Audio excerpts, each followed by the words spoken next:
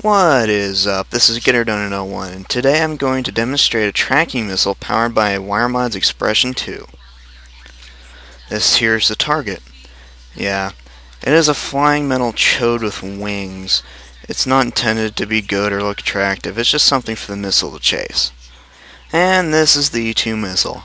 It's based off WireMod.com's Massager's highly deadly turret.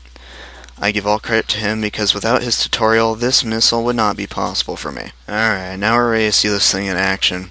I have it facing the wrong way, so hopefully it'll go up, turn around, and strike its target.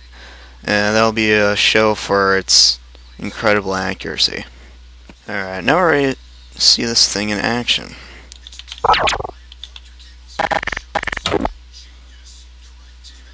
I'll miss there.